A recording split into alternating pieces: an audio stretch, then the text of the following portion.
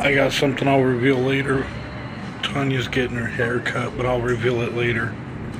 Stay tuned.